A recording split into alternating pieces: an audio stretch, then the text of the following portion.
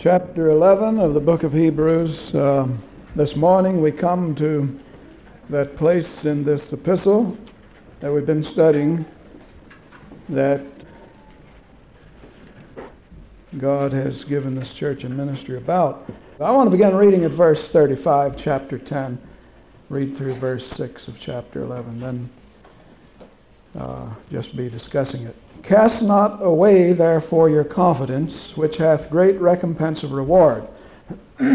For you have need of patience, that after you have done the will of God, you might receive the promise. For yet a little while, and he shall come, he that shall come will come, and will not tarry. Now notice verse 38 the just shall live by faith.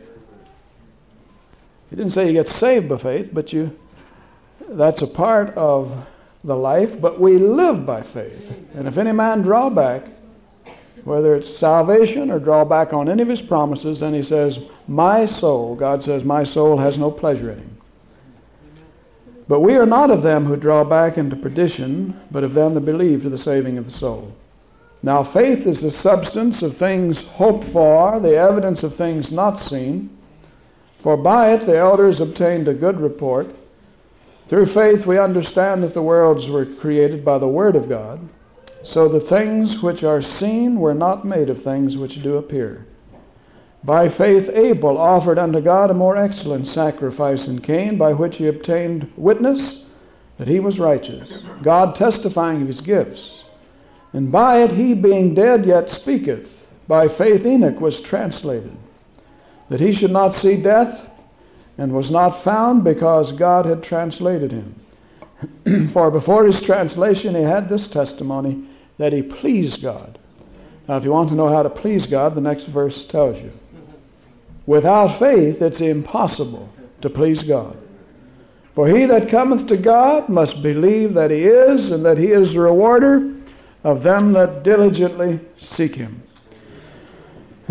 so I want to bring I don't know how many messages, uh, one, two, three, or half a dozen on chapter 11.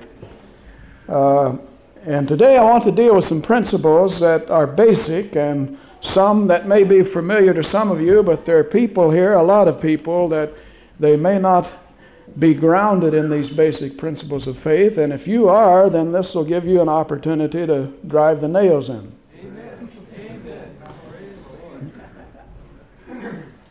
Uh, if you want to know what we mean by driving the nails in, when I was up in Minnesota a few years ago, we teaching there for about a week. There was a woman that uh, a woman, her husband came in, and uh, I said, "Well, praise the Lord, good to see you up here, but you'll probably be hearing some of the same faith principles I taught down in your city. We'd been teaching there for actually altogether three and a half years." And she said, "Well, praise God, that's all right. I need to hear them again." And uh, I know I do, so I appreciated what she said. But that night, God gave her a vision, and she told us about it the next day and said that, that when you said that uh, you'd probably be hearing some of the same faith principles that I had heard, and I said, That's all right. She said, God gave me a vision. I saw this tree house. And it was all lopsided and half built, you know, like the little boys build. And uh, the nails half driven in and all. And she said, that God pointed to that and said, Now that's your faith the first time you heard him teach these principles, and now that you're going to hear them again, you can drive the nails in. So uh, don't sit down on me out there if you've uh, heard me preach on Hebrews 11 1 to 6 before, because this will give you an opportunity to drive the nails in. Hallelujah.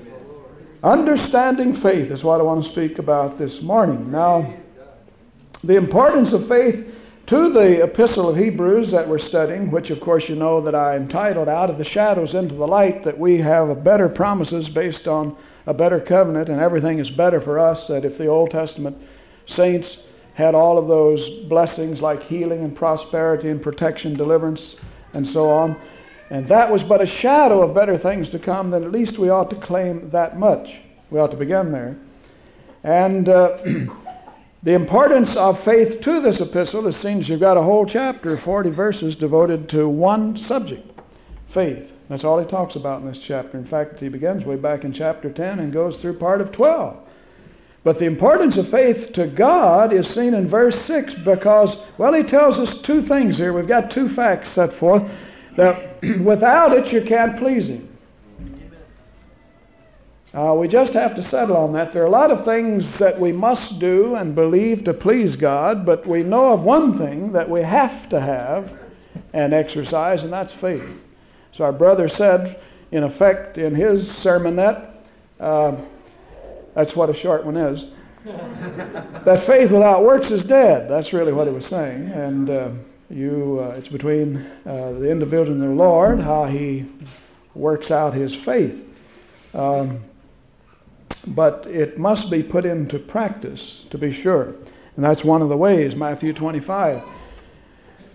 Uh, but faith itself is an absolute essential to ever pleasing God. It doesn't matter if you did go to the prisons or if you did give your life uh, for someone, uh, rescue someone from drowning and drown yourself. It wouldn't matter what you do. He says, without faith in those deeds or acts, then you can't please Him. Amen. Because Romans 14:23 says, "Whatsoever is not of faith is sin." So it's the doing and the believing. It's not just the believing without the doing, but it isn't the doing without the believing. But you don't have to search around the Bible to find out how to please God in this area because He tells you without this, with this, this believing, then you can't please Him. But He doesn't stop there. He defines faith. That is the application of faith because He says it's two things. First of all, it's believing that there is a God who exists that will hear you if you call on Him. Let's think in terms of prayer and, and asking Him to fulfill a promise. You've got to, first of all, believe there's a God there that will hear prayer. For he that cometh to God must believe that He exists. There's your application of faith. But He doesn't stop there. And the second thing you've got to believe is that He answers your prayers when you use your faith and ask Him, because He says you must believe He is the rewarder of those who seek Him whatever you're seeking Him about. See, these are faith principles because uh, there may be a stress on salvation in a passage or something of this nature, a stress on healing or protection or deliverance or material prosperity. Any principle dealing with one thing can be applied to another.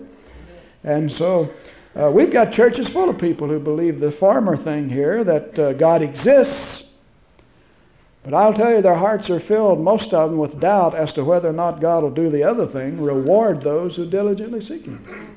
That's what we call doubt and unbelief and skepticism and uh, erroneous uh, belief and all of that. Uh, I don't know if you're aware of it, but it's just as grave a sin in the sight of God to doubt His Word as to doubt His existence. He didn't say that all he required of you was to believe that he exists, but you have to believe he will answer your prayers, that he will reward those who believe that he exists. So it's just as great a sin. And I want to stress that, and I hope and I hope that every one of us, from the greatest to the least in the area of faith, I got a letter just yesterday. It said, We've come to full faith. Well, praise God. Uh, there is such a thing as coming to full faith. Said we've got full faith, and we believe the whole church is going to have it, including the pastor. But I want everybody to get it here who's full of faith or who's still on the barter of uh, trying to figure out whether or not God will do all that He says and whether or not healing and material provision and all of these promises are valid for today. Wherever you are in your thinking, we've got to get a hold of the truth that it's just as great a sin to doubt God's word as to doubt his existence. And that's what he says here. In fact, he says that all through the scripture. Uh, uh, that it isn't enough just to say, I believe God exists. What churches are full of people who say they believe in God, but they're not believing God beyond that. And they may be in for a rude awakening one of these days to discover that the basic concern of God, one of the basic concerns, was that they attempt to please him by believing his word, claiming it and believing it, and believing that he'll reward them, reward those who diligently seek him. And so faith is a basic concern of God because it's the only way into his presence, the only way to fulfill his will in your life. It's the only way to, uh, to receive his promises and to fulfill the commission that He's left the church. That's why the church today is so ineffective. God has called every one of us uh, not just to believe for essential needs, but to a walk of faith. And I'm going to be very bold and say that He's called every one of you to a life of total, absolute trust in everything from your health, life, material prosperity, whether it's in the face of accident, broken bones, threat of bankruptcy, the salvation of your family, uh, cancer, whatever it is, He wants you to go right down to the last, last breath, last penny, last moment, the last of everything, with your hand in His, and saying that if God won't keep His word, then I'd just soon die this way. I'd rather die believing than doubting. Amen. I'd rather lose the business than doubting. Amen.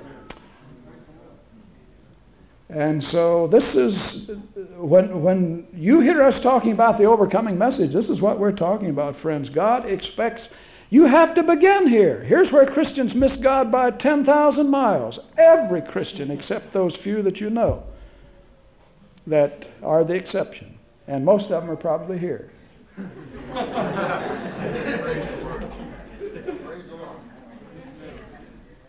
God expects us to go all the way. There's just no exception. Now, of course, we don't want to discourage you, but after all, we've been preaching faith uh, at least eight years charismatically and teaching it and preaching it and living it for 22 years. So, while God is patient with the weak, Jesus never quenched a smoking flax. It is said of him, he'll not quench a smoking flax. Wherever he finds a spark of life or interest or faith, why, he'll fan it into a flame. But, but uh, there, there comes a time when there's no longer any time for you. Uh, God can only endure our unbelief and doubts and questions and Oh, whatever it is that keeps you from going all the way God, with God, He can only endure that for so long, and He's going to have to move on and use people or a person that will believe Him uh, all the way. Without faith, it's impossible to please Him. Now, He tells us what it is. He says faith is the very substance of whatever you're praying for. It's the evidence of things you can't see. It's in another realm entirely. Substance it is a substance. One woman said to me, I was praying about this, hearing you teach on this, and I couldn't quite get clear uh, what it meant when you said faith is the very substance of what you're praying for. It is the answer. It's just in the invisible form. And she said, God, I don't remember whether he said, she said he gave me a vision or spoke to me, one or the other, and said, well, it's just like a potter wanting to make a vessel. He said, If I were a potter and wanted to make a vessel, I'd need some clay to make it out of. And he said, Your faith is the clay. You've got to give me something to make the answer out of. He said, It's just like a potter needing clay to make a vessel. If you want an answer to prayer, then you've got to give me some of that substance. You've got to just keep on getting in the Word, friends, so you get a hold of some of that substance that you need that uh, God can produce the answer out of. It is a real substance. Because you can't see it doesn't mean it's any less real. In fact, reality is the invisible, it's not the visible. Uh, this world, I don't mean that it isn't real, but this isn't the real. The spiritual dimension is the real. This has been created. The spiritual dimension hasn't been. That's God. And we have to begin to think in terms other than feeling and smelling and hearing and taste and touch and weighing and measuring and analyzing and reasoning things out and just simply say because God says that such and such is so, then that's sufficient for me and I choose to believe it.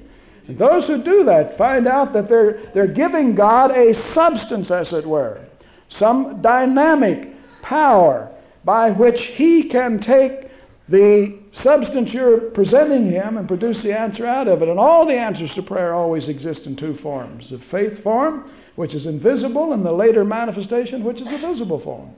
Until we give God some of this substance, uh, some of this believing, as it were, something that will push the button and get the things to moving and operating, then God cannot give us an answer because it's just like a potter with clay. You've got to have the clay. Over in chapter uh, 1 and verse 3, Uh, this same word substance is used, but it's translated here image. It speaks of Christ, who is the brightness of God's glory and the express image of his person. And I've often used the example how that uh, that's a good translation, although the word literally uh, is substance in the Greek. But the image is a good translation because it is what is actually said in Hebrews 1 3 that Christ is the exact substance of God. Whatever God is, Christ is the duplicate or the exact same, exactly same nature as that. And the idea there of image is a good translation because it's like looking in a mirror. The only reason you can have an image of your face, a reflection, is because the real substance is there. And so when you put image over here in Hebrews 11:1, then you end up with faith is the very image of the thing you're praying for. And you can't have faith for a thing that doesn't exist. You can't have the reflection in a mirror, an image of something reflecting back to you if it isn't there. I mean, the very fact that you can believe it uh, based on the Word of God means that the answer already exists. Amen. And so we should never say to God, well, it's been six months and I guess it just doesn't work for this, or I must not be healed because I don't feel any better. It's been three or four days. In fact, I feel worse. Or uh, the money uh, maybe I'm not going to get it because I don't see it yet. This has nothing to do with the fact that you possess it in the faith realm. Because if you can believe for it, and that's the big question, if you can believe for it, then it exists by virtue of the fact that you're believing it. Now, again, don't misquote what Brother Freeman said. I said it has to be based on the Word of God. You can believe there are three moons going around the earth. It won't change the fact there's only one. Uh, we're talking about believing for something based upon reality. Well, we're going to believe for either that thing getting fixed or getting a better one. Since we believe in the abundant life, that isn't the best system. I think it's done pretty good for $125 you couldn't even buy a good radio for that anymore. But I probably, some of you remember me telling you about the Methodist pastor's wife who heard me, heard me teaching on faith and how that it's a reflection. Uh, as you look in a mirror, you know, as you look in a mirror, you see the reflection of your face. And she took a mirror.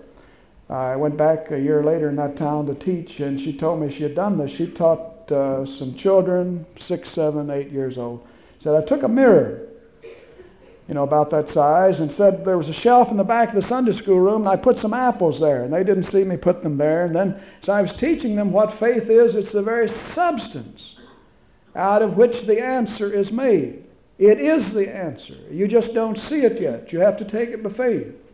Because God said faith is the answer. That's what He said there. Faith is the answer. And then I told them how, as you pointed out, that it's like looking in a mirror. The only reason you can see a reflection is that you're there. The answer's there, you see. You couldn't have you couldn't see the answer by faith unless it existed. Oh, you could hope and wish and all that. And then she said, I after teaching them that, I passed the mirror around and said, Now I want you to look in it and look to the back of the room and whatever you see back there, and believe us there, don't turn around. Uh, you can have it. Well, it wasn't long until, you know, that one of them spotted, I see apples. She said, No, you don't see apples. I said, You see the substance of apples. You see the image of apples. But because you believe there are apples there, you get the apples. He couldn't have eaten those apples. Well, they got the message right away. I hope you do this morning.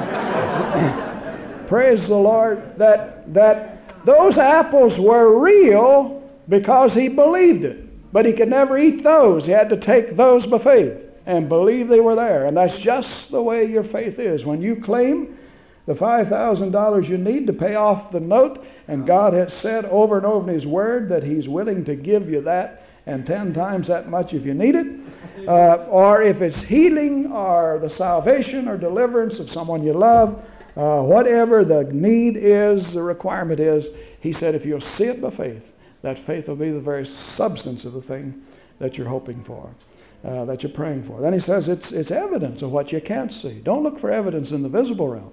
He says faith is evidence of things you can't see. Uh, evidence of anything is absolute proof of its existence.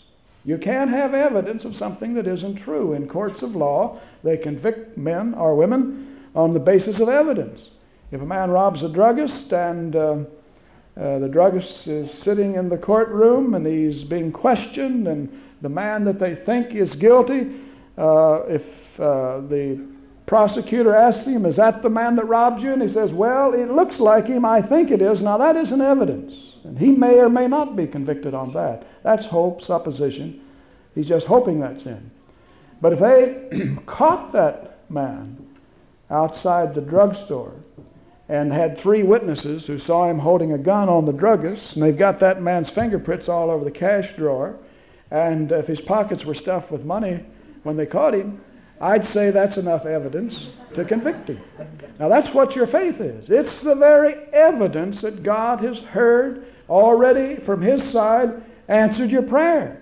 Because you couldn't believe it if God had not already answered it in the faith realm, invisible realm. Whether or not He manifested in a month or a minute or a year, or in case, a case like Abraham, 25 years, or in a case like the children of Israel, seven days later when they marched around Jericho and said, You have the answer if you believe it. Uh, whatever the manifestation time, uh, whatever's involved there, has nothing to do with the fact he says, if you can believe it, if you believe I'll do what I've said, he said that faith in your heart is your evidence that you already have the answer. Now, Christians sometimes will say, uh, well, how, how do I know I have it if I don't see it, or I don't feel it, or if I, the symptoms don't change? Some people say, well, you know, that's just mental suggestion and so forth. But how can I believe I have something that I don't see? And the answer should be obvious that if you could see it, then you couldn't receive it because you've already got it. And if you could see it and already have it, what are you praying about? And if you could see it, even if it was off in the sky somewhere, which it isn't, but if it were, uh, then it wouldn't take any faith. And God has established the whole system down here of our getting saved and fulfilling the commission and having His will done in our lives. He's, he's ordained this whole system on the basis of faith. And the reason is that He will not touch us nor allow us to come into His presence any other way because we are sinners. We are cut off from God. We are alienated from God, you see. That's our past. And when you come into Christ, then He deals with you in Christ. How did you come to God through Christ by faith? The only way you can come to God, whether it's healing or the baptism of the Holy Spirit, deliverance or meeting any need you've got, is the same way. It has to be by faith.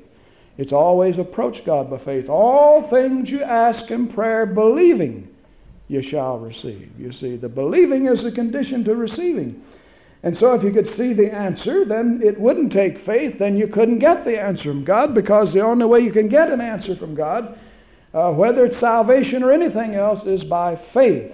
Now, God has, has so ordained it that He is pleased to honor faith. He says, You please me when you believe me. There's nothing else we can do, friends, to please God except believe Him. Now, believing has legs on it. You know, it acts, it walks your prayers sometimes have to be walked out and that sort of thing, as we heard this morning. But the believing has to get the feet started moving in the right direction. And so you're not going to please God by just doing something.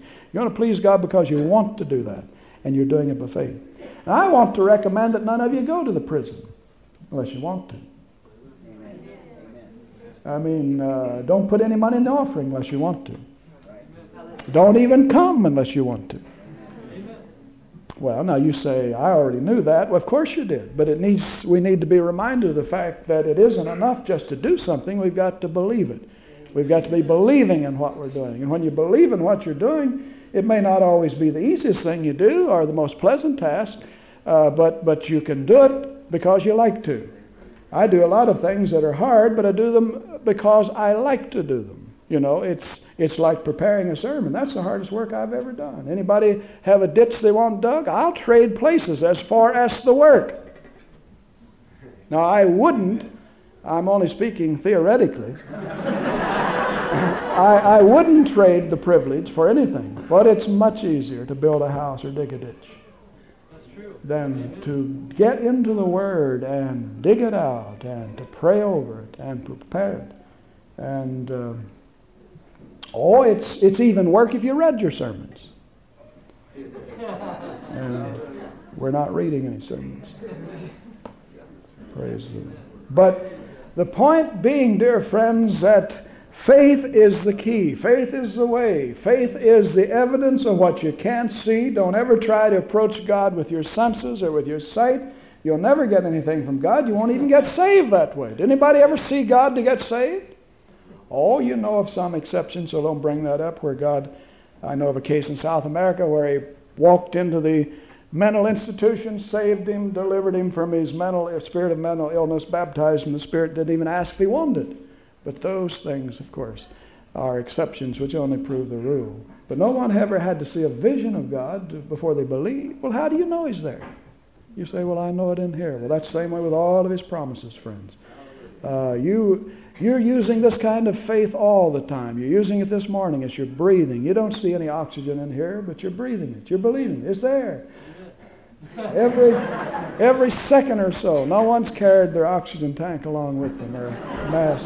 You believe it. No one gets out and looks at a, a cloudy day and, uh, and says, Well, I'm not going to believe it till it starts falling. You hear people all the time saying it's going to rain. Well, how do they know it's going to rain? How do they know there's anything up there? They can't see it. It'll never rain until the combination of invisible factors get together in the right proportion. You can't see hydrogen or oxygen, but I, everybody believes in water. You have to get them in the right proportions before that which they say I know's there that will come down will come down. And they're believing in invisible things all the time. This is just the way it is, just like this morning. Uh, I could tell you all the mechanics of how this works. I know uh, something about electronics, but we're all taking by faith, and I'm not going to, uh, you know, just turn that off because I can't see electricity. I believe it's in those wires, and going out there. And so because I can't see it, I'm not going to do a lot of, like a lot of Christians say, I'm not going to believe it because I don't see it. Or how do I know I'm healed? I don't feel any better. You see, you don't see any of this. It's just the sound waves from my voice being translated by this microphone, a little diaphragm in there, magnetic diaphragm, that when I talk, the air waves are, are translated into electronic impulses I mean, my voice isn't going over that wire. You couldn't get anybody, you can't get sound over that wire. But that's just electricity. As soon as I talk, that magnet starts working. Now, this thing we piddle with down here is, is just an amplifier. It doesn't do anything except makes this voice loud enough out there that you can hear it.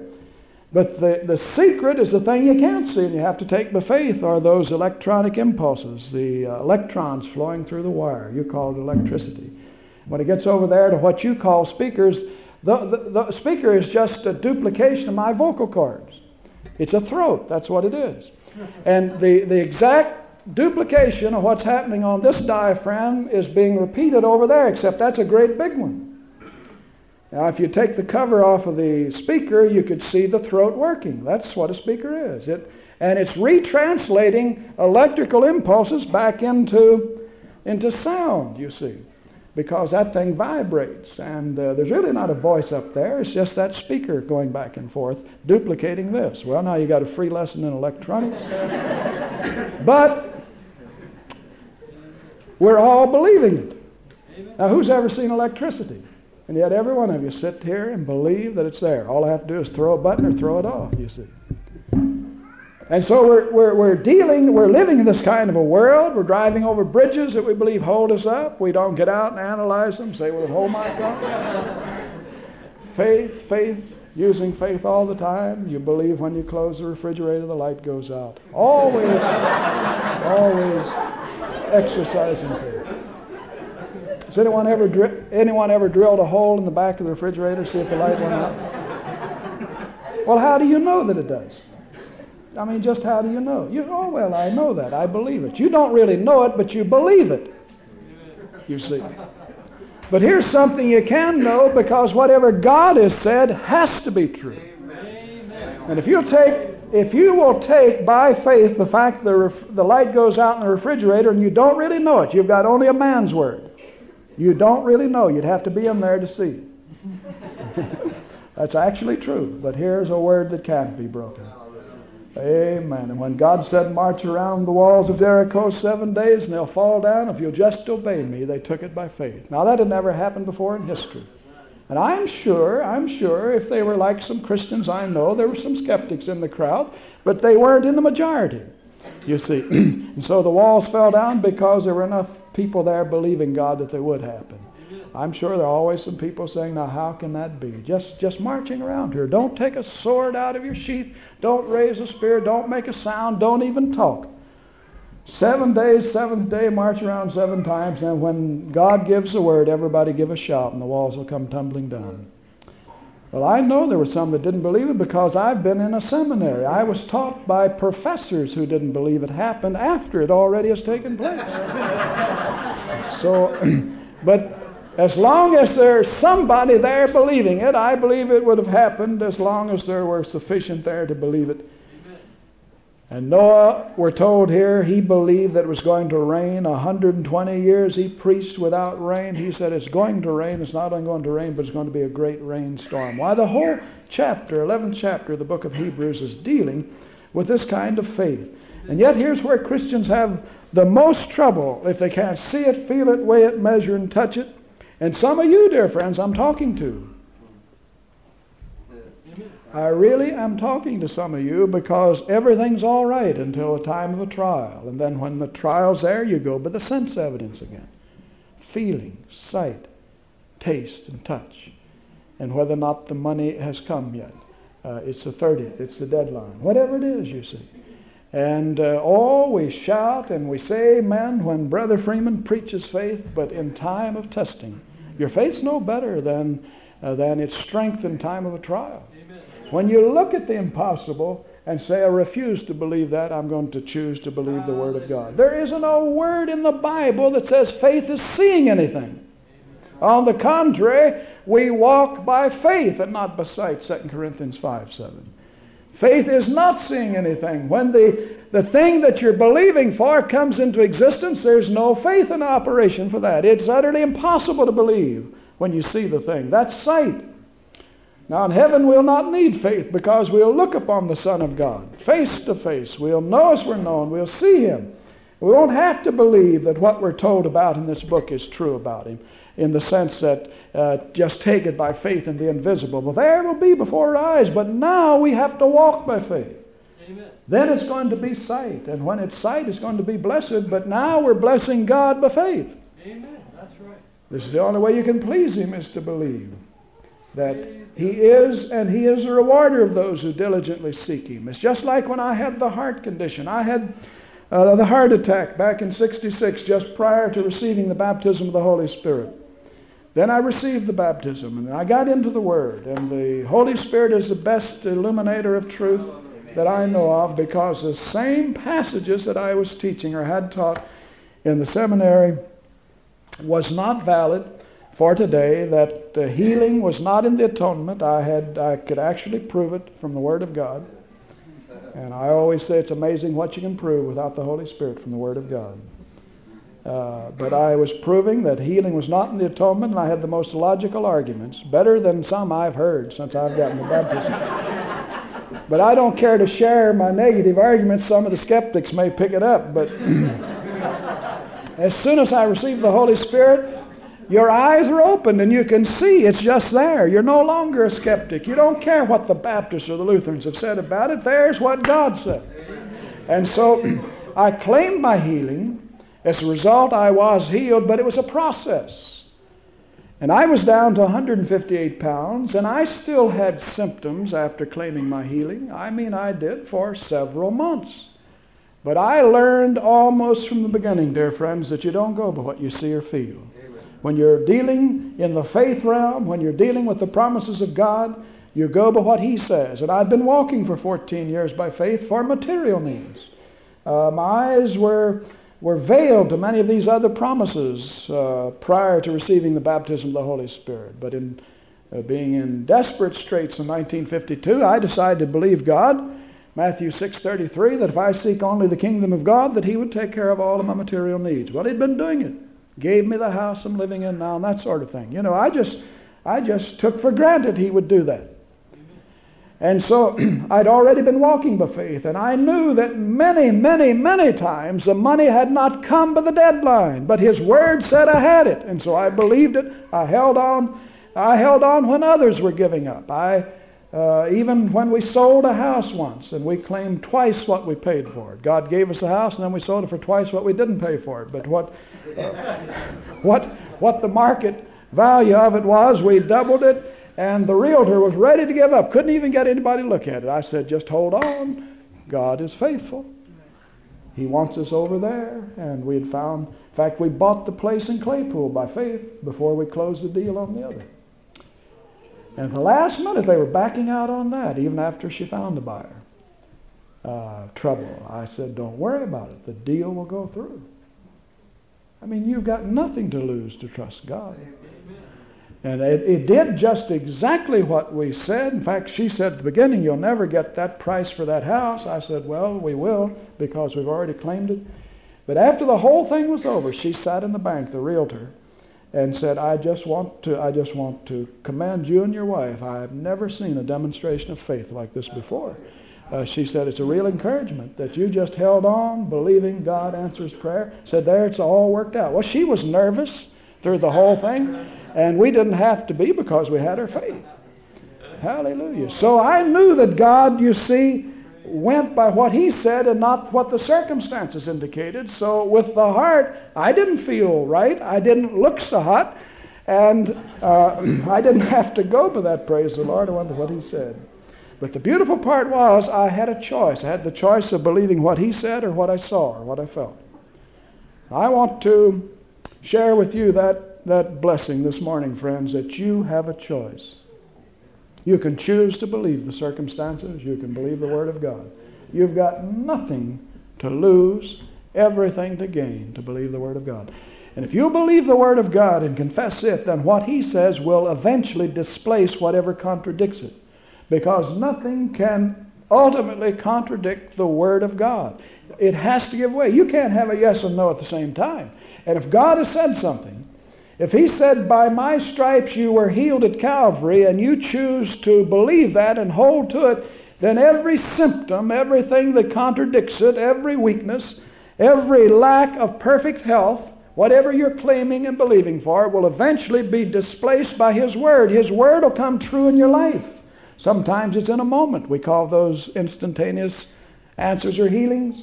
Uh, really, they're not. They're always after you pray. But the point is that if it's in a moment, uh, sometimes it happens that way. But many, many times it isn't. And over the period of months, I kept confessing what God said. I refused to look in the mirror. Of course, you have to when you shave. But I said, in fact, I used to say, Lord, uh, I got to feeling better before I got to looking better. I said, Lord, I'd sure appreciate it when I start looking as good as I feel. But I kept on confessing the Word of God, and in, over a period of months, here was my condition, way down here. His Word said ought to be up here. That's the way you ought to feel and look. That's what it said. I kept confessing it, and I found that more and more over the months, the way I felt and the way I looked came to be in harmony with what he said. Amen. Praise God. About that condition. Hallelujah. And the point is that you finally get to the place where you see that it doesn't matter how you feel, that you're healed, regardless of what you see or what you feel, if God says it. You see, I'm healed whether or not anyone else thinks so or not. I'm healed. I would be healed if all the doctor's reports, if I was foolish enough, to, as some people, to go get an examination. I always, I always just kind of hold my breath when somebody says, "Well, I know I'm healed. Now I'm going to go have an exploratory examination or operation just to prove it." So I'll have a testimony. Well, sometimes uh, it's all right in one sense if you've got the faith to stand up under what the x-rays say. Because sometimes the x-rays will show the bone still broken. Sometimes the x-ray will show the growth still there. I know of a case, I know of more than one case. I know of one case where they were prayed for, went on, had the operation, and took out a dead malignant tumor. It would have passed from the body if they'd have left it alone. Because it was killed when it was prayed for. But the x-ray showed it's still there. You see. Oh, friends, this, this is no isolated instance I'm talking about. Too many people are giving up uh, uh, too soon because they're going by feelings or what Job's friends say or what the medical reports say. Uh, I've said it and I'll continue to say it. I'm not trying to teach babies this morning. I'm going to say the best place to stay away from if you're sick is the hospital. And if you're going through a trial, you don't want examinations. You don't want to find out what it is. Uh, you really don't. Because that has nothing to do with what God says. And uh, I don't want anybody probing and picking and punching and cutting on me to find out if there's something wrong with me. Uh, I've hurt in places, friends, where I can imagine all sorts of things. I've had those, I've had pains right around there. Well, you see, it, uh, my confession is indigestion, hamburgers and onions. Why should I confess it's a heart problem again? And the first thing many people do say, well, I guess I got the old symptoms back. Guess I've got the old condition back. And they have because the devil uses your confession, just like God uses your confession.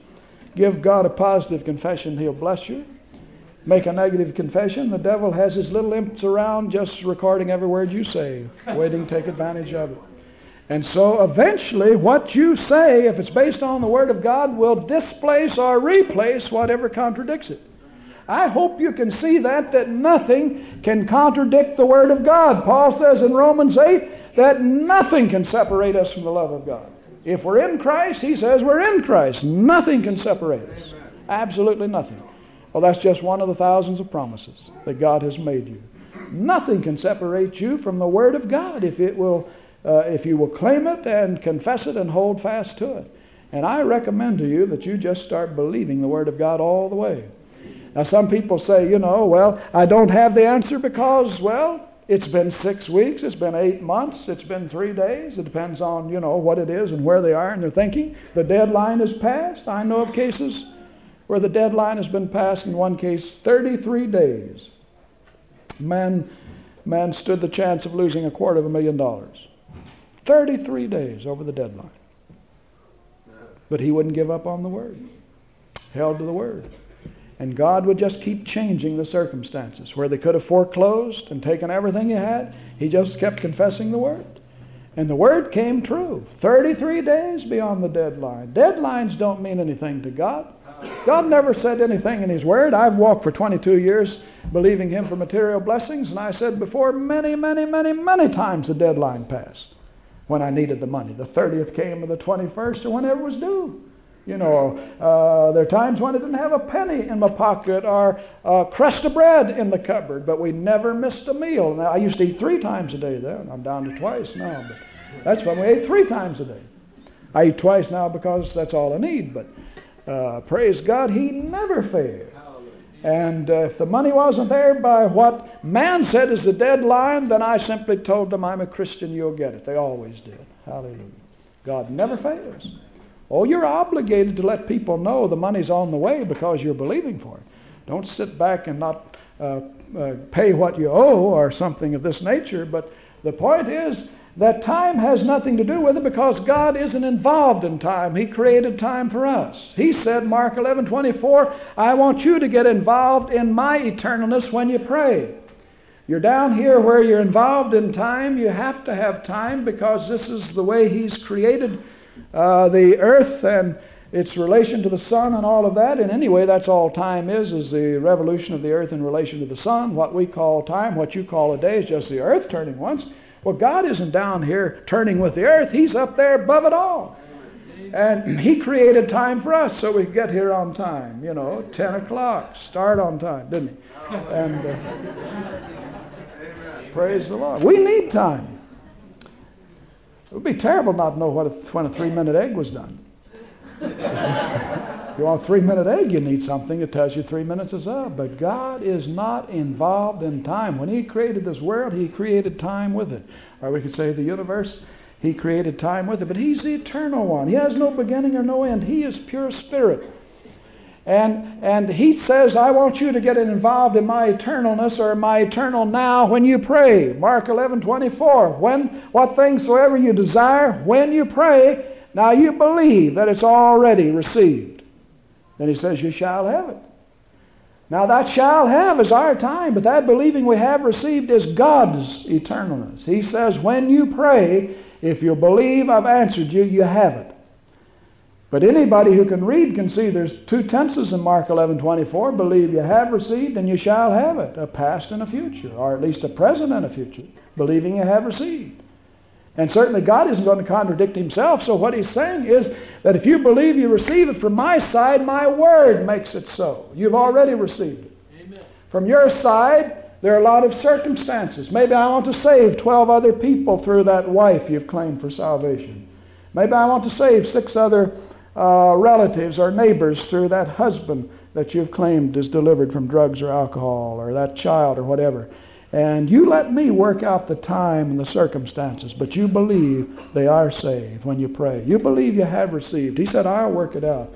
Uh, don't get in God's way and mess up uh, with our time, His eternalness, because He's not bound in it. Time is very real to us, as uh, uh I've uh, sometimes expressed it. Time is like a person riding on the back of a train, the observation car. Now, most of you, many of you at least, probably have never ridden a train because that isn't the way to travel today. That's going to come back, I imagine, with uh, the energy crisis. But uh, if you stand on the rear platform of a train, the Pullman, you know, the, the uh, passenger cars, and as you, uh, the train is always moving, going 60 miles an hour, say, as you look out the side of you, you see things now. That's present tense.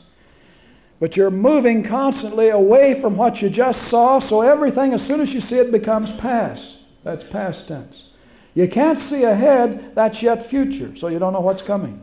And so time's very real to us. You see, things are present now. Now, what I just said is already past. And what I'm going to say isn't happen, hasn't happened, so that's future. But God isn't on the back platform of that train and waiting for things to happen and watching things pass and talking about the present.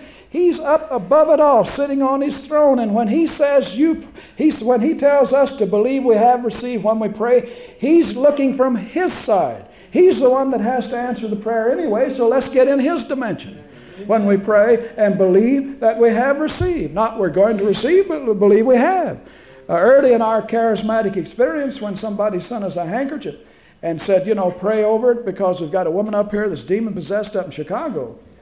Well, that was kind of new to us, but we saw that in Acts 19, 11, and 12, and we asked the church to pray over the handkerchief, pray for her deliverance.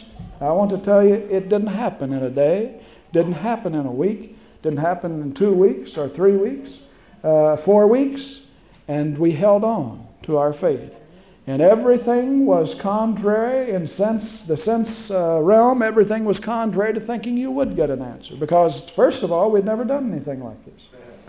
Secondly uh, the longer the time went on the less likely it would be that would happen. Because the man was so desperate who asked for this that this was his last resort. It was either divorce or the mental institution. She was so bad uh, so anti Christ and anti God and anti everything that he said he couldn't take anymore. And someone had been down to our church and said what I said to you a while ago don't you know you have a choice? See, most people don't even know they have a choice. They just think they have to resign themselves to fate or bad luck or, well, I'm a broken home, I didn't have a chance, and all of that. She said, You have a choice. And she said, You can either do that, get rid of your wife, or God will deliver her on your faith said, I know a little church that prays the prayer of faith. So, to make a long story short, that's what we did. And uh, for 30 days we sat and we believed God. Now, I did. I'm assuming the rest of the church did. I include them in the faith. And the static got pretty loud after two or three weeks from the devil. And he said, You know, you've ruined your ministry before it really got started. This was early in our charismatic experience, and we're just starting to preach the faith message, the end time message. And the louder he talked, the louder I shouted. Praise the Lord. It's true. And I want to tell you at the end of 30 days, that's exactly what happened. The man sent words that I'm looking at a living miracle. I've never seen a miracle before, but said as soon as she touched that handkerchief. And see, he didn't give it to her all that time. We didn't know that. We just had to sit down here and believe God. we didn't understand. And a lot of people give up uh, because the answer hasn't come, and maybe the mail is delayed for some reason, you see. And God is allowing that to mature your faith and to test your faith. At the end of 30 days, she had gotten a hold of it, said as soon as she touched it, every demon went out of her. Free. praising God, wants me to take her to church. And several months after that was down to our church at Claypool, still shouting the victory. She was shouting the victory. Wasn't any of those, you know, have to do it over again. I've heard those stories and so forth and so on. Uh, praise God. Uh, it's true. Circumstances, time, time has nothing to do with it. As soon as we laid our hands on that handkerchief, she was set free. Right. You see, all the circumstances and conditions have to be right, have to be met. We understand that. We're talking about when they are. We're talking about when they are. We teach the conditions and circumstances and what you have to do to meet all the faith uh, requirements. But we're assuming that this morning, and it was so in this case, that when faith is there, then the answer has already come. When you pray, believe you have received. You see, for people to think they haven't received an answer from God because there's no immediate manifestation of something is to confuse the answer with the manifestation. Now you got to keep that in mind. I don't care how much you know about faith. I don't care how long you come to this church and hear faith. People are still missing God. Some of you are still missing God because you forget there's a difference between the answer and the manifestation. The answer comes the moment you believe. God says, Believe you have received. Believe you have received. Then you shall have it. That's the manifestation. So what does it matter if it's a moment or a month?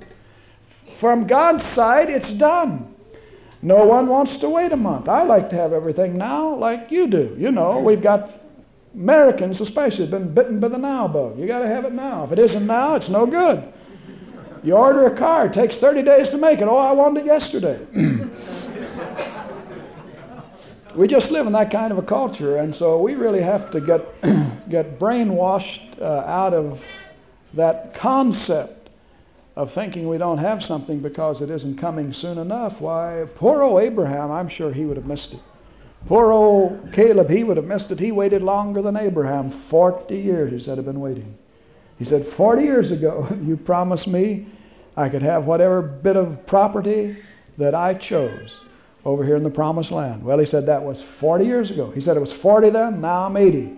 He said, My strength, he said, I'm as strong as I was when I'm 40. And he said, You just give it to me, Joshua. And he said, I'll go in and take it. He not only believed it, held on for 40 years, but he acted his faith. And he did take it. You know what he took? Well, he took the choicest land in, in, uh, in uh, Israel. And uh, uh 40 years. Noah, 120 years. Now, I imagine that if any of us had to wait 120 months or 120 weeks, some of us can't wait 120 days. How about 120 hours? You know how long 120 minutes is, Have you heard him? Noah waited 120 years and confessed and believed. Took him that long to build the ark. And he kept telling people it's going to happen, it's going to rain, it's going to be a flood. says you better get right. Hallelujah. Nobody believed him. Nobody. The only people in the ark was Mrs. Noah and the three sons and their wives. Now, how would you like that? He was a failure, wasn't he? You know, many times, friends, you're going to be the only one. You're going to be the only one. Just your family. God will put you in situations and uh, areas sometimes where you'll be the only ones. Uh, well, it doesn't mean God doesn't have people you don't know about around, but as far as you know, you're the only one, and you're just going to have to hold on anyway. And if God says 120 years, then it's 120 years that you're going to believe for Him. Now, we're talking about faith. I've had people, like one man said, well, when I gave him Abraham's example, he said 25 years.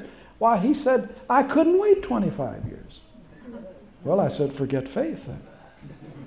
Because I said, faith has nothing to do with time. Oh, praise God, He isn't going to make you wait 25 years for a healing or for a loved one to be saved or uh, the answer to that financial need or whatever it is that you uh, require and you're believing for. Uh, generally, He isn't going to make you wait 25 years. But thing is, faith will wait. You don't say that I won't wait. You see, from your side, faith says, I will wait. Faith has nothing to do with time. I live in a world of time. I'm bound by time. Time is pressing in on me all the time. I go to bed by it. I get up by it. I watch the clock. I say I've been praying for an hour. I say I've been preparing this message eight hours in a row. I need a little relaxation. Everything is time. But when you pray, forget time. Just say it's done because God says it. Amen. That's what faith is all about. Faith is the evidence you have received. Amen. Not going to, have. now, if I came and said, you believe you have received, then you could challenge it or question it. That's up to you. But, friends, I'm going to challenge you. I'm going to put the responsibility on you. God said it.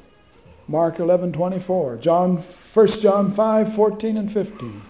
He said, If you'll pray a prayer that I'll hear, he says, Any prayer you pray that's according to my will, he says, I want you to know that you have received your petition.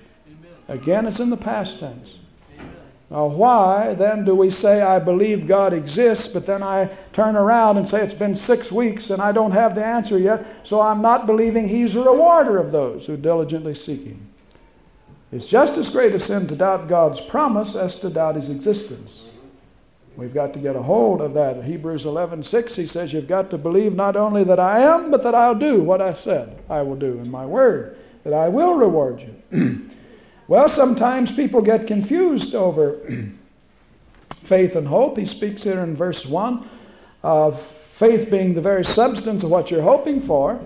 And sometimes answers are not coming to prayer. Sometimes sometimes you're not receiving what you think you believe for is because you're just hoping, wishing. Sometimes it can be so strong, a desire to see a loved one saved, that you will translate hope and wish as faith. If it were faith, you'd make that claim. You would claim the promise of God and then you'd rest in the Lord. Faith is a rest, it isn't a work.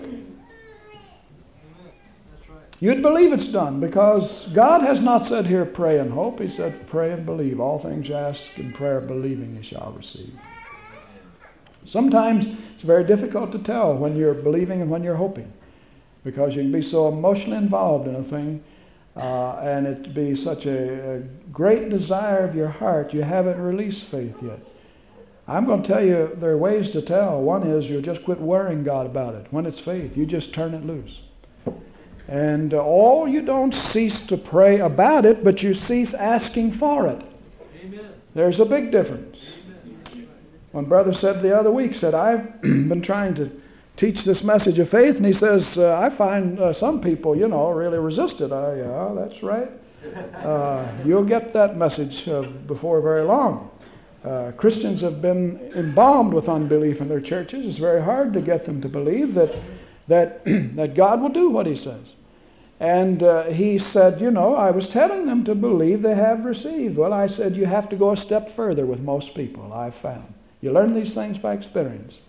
And say, uh, and no, he said, What I told them was to pray once. You don't need to pray ten times about the same thing. I said, I found you have to go a step further with most people because they've been taught pray, pray, pray. Prayer, uh, prayer helps. You see it on the signboard. Prayer changes things. And uh, they've been taught just to pray around the clock and back and hope something may happen. And I said, uh, You have to go a step further. When you tell them pray once, you tell them what you mean ask once. And to continue to pray until it's manifested, but let your prayers be praise and thanksgiving that God has heard. The answer's on the way. That's prayer. But it's a prayer of thanksgiving and not supplication, not asking. And there's a big difference when you're dealing with the promises of God. We're talking about the promises. Now, I just said the promises at least four times this morning. And uh, I'm, I'm making a point of that because I stressed it the other day in a message, and brother came up after and said, Well, now, you know, um, uh, you said you never to pray if it be thy will. I said, Yes, and how many times did I say about the promises of God? You see. See, they don't hear you. They've been taught the wrong things for so long. Some of you, all of us have been taught the wrong things, but some of you have not really heard some of the things I've said this morning. Because, and it's no criticism of you, because we are brainwashed into thinking a stereotyped way. That when I say you don't have to pray but once about a promise, all we hear him say, you don't have to pray but once. And the Bible says men ought to pray always and not to faint. So that's the first thing to think of. But I said about the promises of God. You claim them once. Oh, praise God. When I claim my mother once, I said, Lord, I'll never ask you again. I'd been praying for her 14 years. And she wasn't any closer to the kingdom than when I started. but when he showed me that that wasn't faith, I said, I ask you now, in faith, I'll never ask you again. But I want to tell you, it was seven, eight, ten months later when the manifestation came. And all that time, I thanked God. I prayed about it. You know, God, you're faithful. Lord, uh, you know, I'd remind him how impossible it was for man to do anything, but it was already done because he said so. this blesses the heart of God. When you rejoice in the fact that he will do what he says and that he's already done it as far as you're concerned. So I said to this brother, you have to tell them this. Because if they were really ready for that message of faith, then they'd know what you mean when you say, ask once for a promise of God. Because if they will come just a whole month in a row, all four Sundays, they will hear you say more than once that you ought to do much praying, you see, because then you're dealing about prayer. You're talking all the time about interceding in the Spirit and this sort of thing. And how that you pray in tongues 80% of the time you're praying and this sort of thing. Uh, but they're not hearing that when you made that statement that you ought to ask one time and only pray once. So I'm spending that time because there are several of you, dear friends, out there who didn't hear me say. I'm talking about the promises of God this morning. Now, lest you think that that's just some sideline with God, f- fulfilling promises occasionally, that's about the only way He ever deals with you. this book is filled with these promises. And this is the way that you approach God and get things done in your life, in the church, and so on. So when we're talking about the promises, we mean that about 95% of the time you're basing all your prayer on the promises of God. That is, with respect to needs and getting things done. there shouldn't be over 5% of your life. Uh, I haven't figured this out mathematically, but there shouldn't be over 5% of your life when you don't know the will of God. You ought to be praying in the will of God. You ought to know what He said. Amen. One brother said, Well, when you say pray only once for a promise, that assumes you know what the promise means. I said, That's right. There's no substitute for studying the Word of God. If I read all things ask in prayer, believing I'll receive, I have to know First John's over there, and I have to put that with it. And he says, You've got to ask according to my will. You see, I can't just ask him all things and say, I want 15 Cadillacs out in front of my house by tomorrow at 10 o'clock. Now, it has to happen because I believe it. It'll never happen. First of all, if nothing else, you set the time on God, and that's one of the conditions. You have to know in His Word. You don't set the time on God. He tells you when the manifestation comes. He says for you to believe that you have received, then you shall have it. Now, see, I couldn't say it all there in, in that statement because there are times when you can set a time. So that's why you have to keep hearing the Word. So you know what all of these various facets of faith are, the conditions are. And uh, I'll let you in on a faith secret. If you ever have to ask, can you set a time? No. Because whenever you set a time, it'll happen in such and such a time, you've got the faith for it.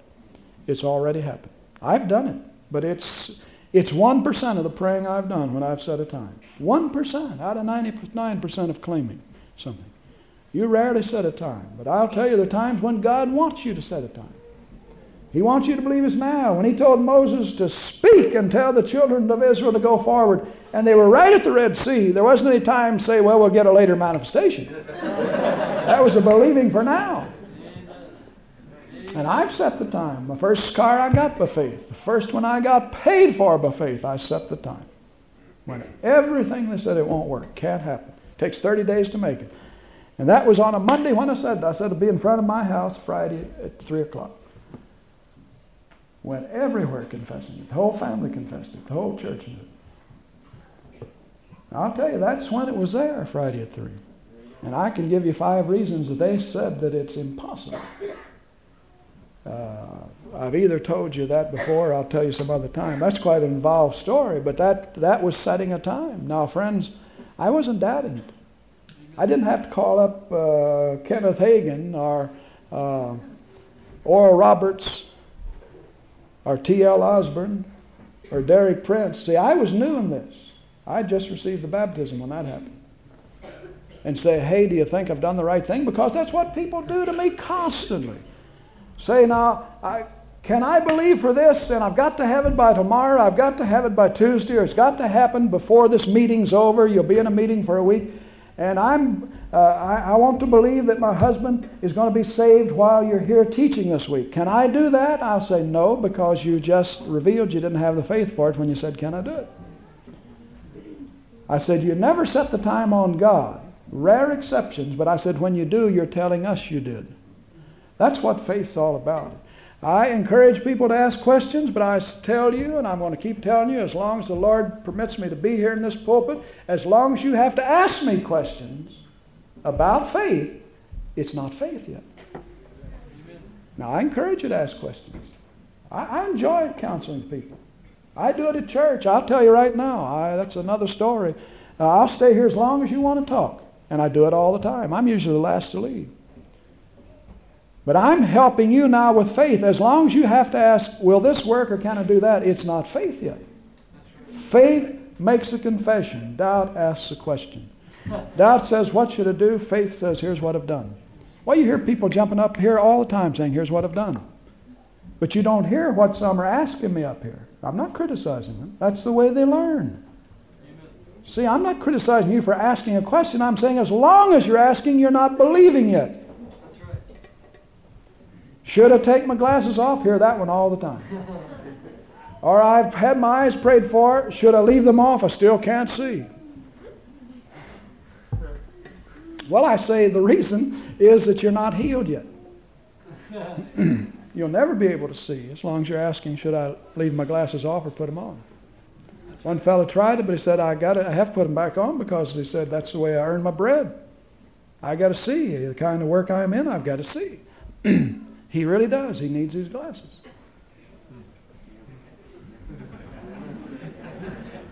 Oh, I didn't say it wouldn't be a trial, friends. But I'm saying faith is I'll give up that job before I'll doubt.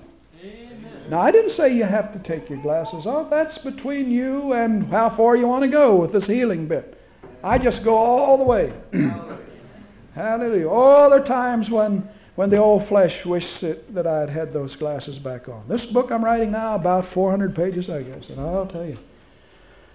There are times, friends, when I just had to quit. I could not see another word. You, you have no idea the research and the, the why sometimes you've had to deal with 13 books for just one thing you're dealing with in your book. And that sort of thing. But you see, when it's faith, you don't ask, what should you do? Or wouldn't it be easier to quit battling this thing and just get the job done? It'd been a lot easier if I'd have never taken them off several years ago. Yes, then I wouldn't have to tell you about it. I could do like some do. They put them on to read the menu, they put them on to read the Bible, they put them on to do their studying. They say, Well, I'm 50 years old or I'm 55 years old. Your eyes get set. You heard my answer to that one? If they get set completely, they call that death. so I'm not going to confess my eyes are getting set. That's just a part of the confession. I'm on the way down, not up. Hallelujah. Oh, I, I can see all right. You saw me reading. This pretty poor light up here. But I'm saying, you know, that uh, uh, uh, the research I've been doing and all by faith it's amazing the size of that book, and I've read it all by faith. and worked hard. Uh, I get up, friends, if I start at 9 o'clock, I go to bed at 1. Seven days a week. Not boasting or crying on your shoulder. That's just me. I would, I would, uh, I wouldn't know what to do with myself if I wasn't busy. I, you know, if I if I take a day off, I have to build a radio or something.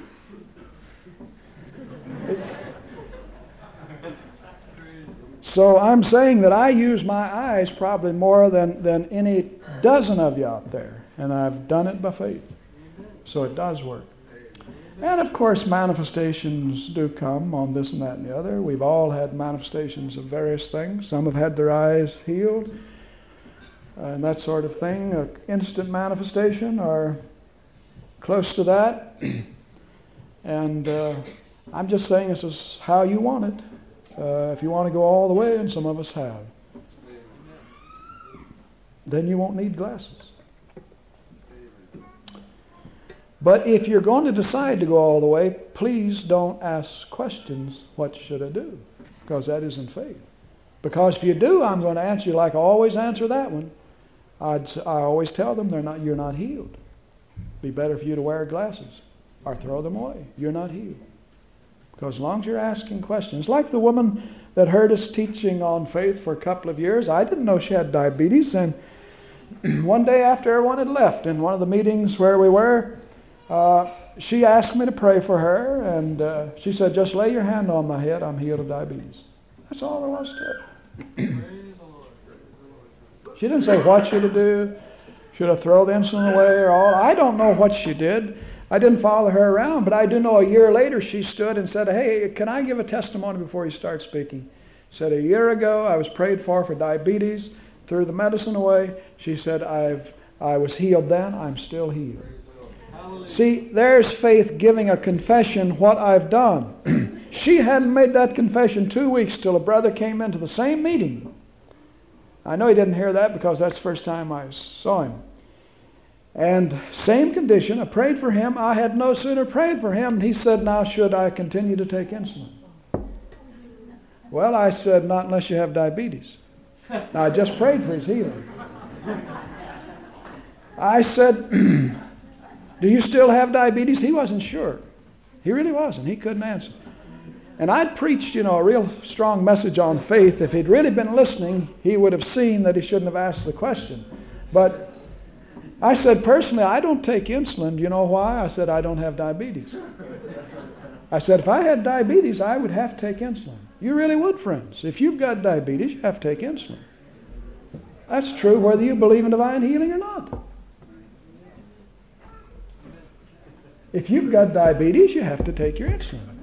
Oh, you can have all the symptoms, and you can be prayed for and claim it and have all the symptoms, but you don't have diabetes. God said, believe you have received when you pray. But as long as you believe you have diabetes, you have to stay on insulin. I said, now the reason I don't take it, I don't have diabetes.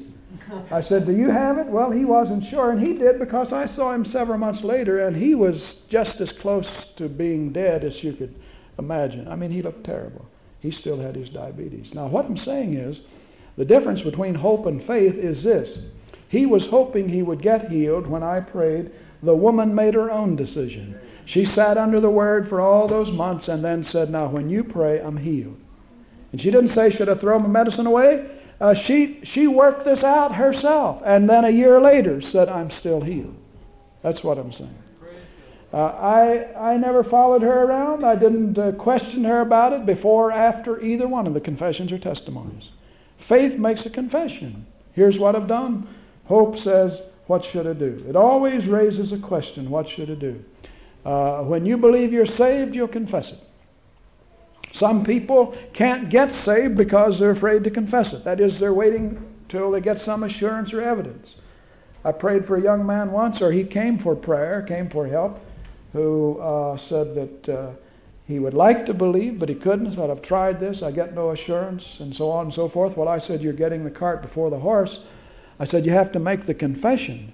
Do the believing, make the confession. I said, Then the assurance will come. And then I gave him my experience. I said, I believed for two months before I felt saved.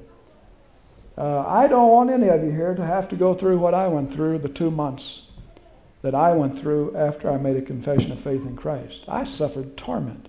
I didn't know anything about demons and lying spirits. And uh, the devil just gave me a hassle 24 hours a day. You know, wake you up in the middle of the night you you're not saved. Everybody can be saved but you. Well, I'd confess John 3.16, and after two months, God said to me, said, Son, you're saved because I said it, not because you feel like it. Well, a profound theological truth he gave me there in, in uh, St. Petersburg, Florida, and so I said, all right, I'm going to believe it. I'm going to accept it because you said it, and quit worrying about it. Well, as soon as I accepted it, then the assurance began to come. So I said to him, That's the same way with you. You're waiting to feel like you're saved. You want some inward assurance. It's good to have it, but I said, you know, there can be a hundred reasons why a person wouldn't have assurance about healing or anything else immediately. He just has to base it on the Word of God. So I had him make a confession of faith. I said, every time you think about it, praise God you're saved, praise God your sins are forgiven, thank God you have eternal life. That was a Saturday night where I prayed for him, led him to Christ, came to church Sunday morning. When he walked in the door, I said, Are you still confessing it? I didn't say, How do you feel? I said, You still confessing it? Let's hear it. He made another confession of faith. I said, Keep confessing it. Came, came that night, had him confess it again. Came Wednesday. I said, You still confessing it? You could, you could tell he still didn't feel like he was saved, just by the look on his face. Person has the joy of the Lord. You don't have to ask them, Hey, are you saved or baptized in the Holy Ghost? Uh, I said, You still confessing it? He confessed it again. That night going home, he still didn't feel a thing. The Holy Spirit fell on the car. He was baptized in Spirit, began to speak in new tongues. Nobody prayed for him for the baptism. He just got his assurance in the car. Amen. Only Christians are baptized in the Spirit. So there was his assurance. He was saved four days and didn't feel like it. Simply because I said you are, but if you'll believe it, because God says you are. Saved four days, didn't feel like it. I'd been saved two months and suffered torment, didn't feel like it. If you can be saved four days or two months without feeling like it, you can be healed for four days or two months without feeling. Because God says you are. You can have the money before you see it. You don't have to see the money before you have it, if God says you have it. What if He sends it from California? What if you pray for, oh, you desperately need that $7,500? They're going to foreclose, or you've got to have it. You've made a deal. You've already made a down payment, you know. Money's going to come. What if God's going to touch somebody over in L.A., Christian over there, has got a lot of money? How long does it take the mail? About a week to get from L.A. to, say, Claypool or Warsaw or North Manchester. And some people say, well, the deadline's Wednesday and it takes, you prayed Monday and it takes till Friday for the mail to get in. If you're going to hold God to the fact you haven't received because the deadline is Wednesday, well, you don't even give God time enough to deliver the mail. The money's in the mail. I mean, it's just that way, friends. It is just that way. You'd be surprised how some people give up. And so God, knowing what they will do doesn't bother to send the money because they're going to close the door. He can only get it in your door when you open it by faith.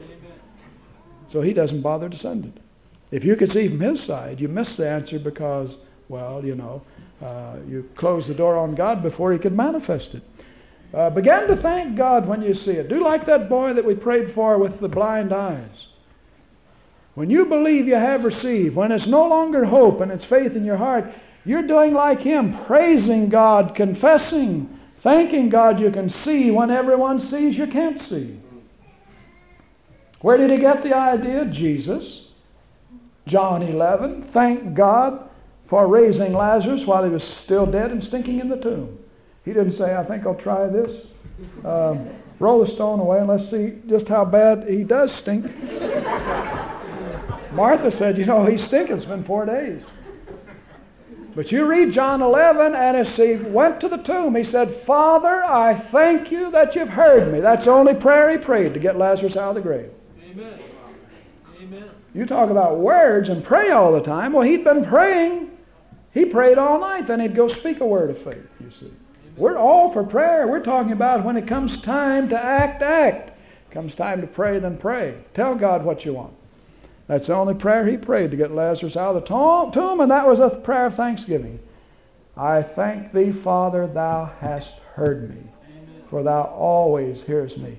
And he went on to say, I don't even have to say that much, but I said it for their sake. The people round about, that when they heard me thank you for raising him while he's still dead and stinking in the tomb, they'll know that this is God. Oh, there's a lot in the Bible, friends, that you can learn about faith. Uh, Jesus said to me, He said, you, you start ministering. You get into the four Gospels. You start ministering the way I minister. And then wherever He sends me, you tell the people to minister the way they see you minister. Tell them to get in the Word because He said, I minister, said to me, I minister totally, ministered totally by faith. Amen. Totally by faith. Wow. Nothing would have happened except I believed it. He said, that's exactly Oh, I'll tell you, I know a whole lot about faith. I've been walking by faith for 22 years, but I want to tell you, be presumptuous for me to say because I've read John 11 once that I know all about the raising of Lazarus. But I just told you some things that, that probably all of you or most of you didn't know. The people get in a hassle sometimes because you say pray once, you pray ten times for the same promise you've prayed nine times in unbelief. And he didn't even pray a prayer to get Lazarus out of the tomb. Except for the benefit of those round about him that they might believe. And then it was just thank you. What do you think would happen if you laid hands on that sick person and thank you, Father, it's done in Jesus' name? That'll do the job as quickly as five minutes of telling God you love him. This brother or sister's been suffering for five years this condition. Lord, you know how much we need this, and Lord, oh, demonstrate your power before the congregation. Well, I'm all for prayer. If you want to do it that way, go ahead. But I'm ministering in, to 50 people while you're ministering to that one. Amen. And getting the same thing done. Amen. Pray, yes, pray. But do your praying before you do your saying. Pray and then say. Hallelujah. And if it's faith and not hope, you'll hold out uh, on those cases that you're praying about. You're going to hold out Amen. until the last minute. woman said to me once, How long should I wait? She said, I believe it just like you teach it, that you have to believe you have received. She said, I believe I have received. She says, I've been believing that for a year. she said, Brother Freeman, I know it's right. Mark 11, 24, just the way you teach it, but how long? I've been waiting a year. I need this. I said, till the last minute. Do you think she jumped over any chairs? Big smile, no. Rather weak smile. She said, "That's right." In fact, she people often say, "I know what you're going to say before I ask." say uh, they sometimes say, "No point asking him how he is." You always get the same answer. Well, you know, you can be battling symptoms and say you're rejoicing in the Lord. But praise God, I said to the last minute, I said, that's the way it has to be. She said, I know it. Hallelujah. The last minute. Sometimes, friends, the last minute has come and gone. When I claimed that Jewish soul over in Israel in 1966, the last minute had come and gone. Down the Sea of Galilee, I'd claimed a Jew, a salvation of a Jew for that day and the bus is up there racing the motor. The people are on the bus, all the others on the tour, you know, and they think I'm down there because I'm the official photographer. I'm down there taking pictures. I was the official photographer. That's my designation. I was the only one that knew anything about it. The rest of them had little Kodaks and one other fellow had a movie camera and he shot all of his out of the bus the first day.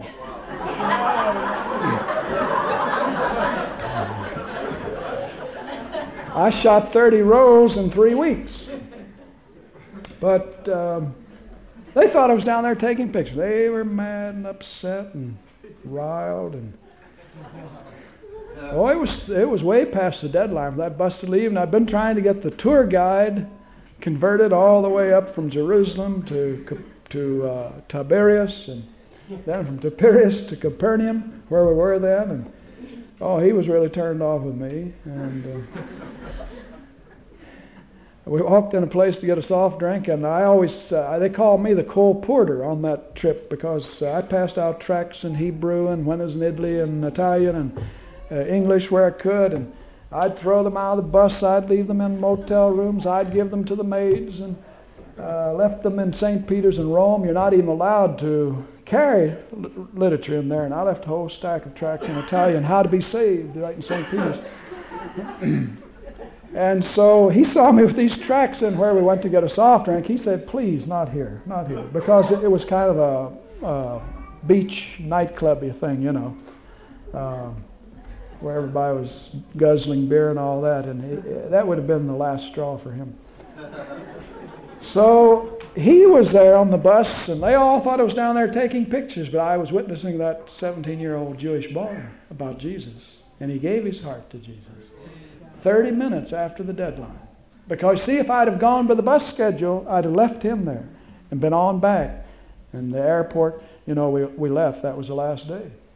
But praise God, the last minute isn't the last minute. You ought to read Bevington sometime. He had some last minute answers. Sometimes God holds you to the last minute just to see if you're talking words. Hallelujah. Father, we pray that you'll teach us by the Spirit the difference between hoping and believing, but even more that you'll help us to get on believing ground so that when we ask and say that we believe that we've met the conditions that everything is right, everything is favorable from our side. No hindrance to receiving an answer. And then to, to hold out until the last minute, knowing that you are faithful. If we'll continue our confession, that you'll be faithful to do what you've promised. Let faith be our standard in this church. Let our faith be mixed with a, a, a true life of faith, a walk of faith, a doing of faith, a working out of that which we say we believe. Let there be a full, rounded understanding of what faith requires and what it is.